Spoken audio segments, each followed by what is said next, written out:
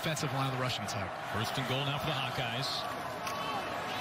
On the jet sweep, and Hawkeyes have a touchdown. Another shot, getting with Mono. Intercepted by the Gophers. And coming the other way.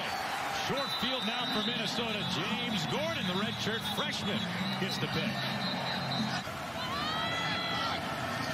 Directs back to Goodson.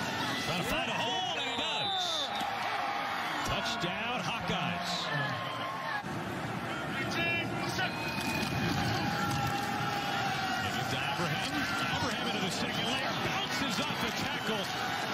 Drags a couple of Hawkeyes with them for a first down.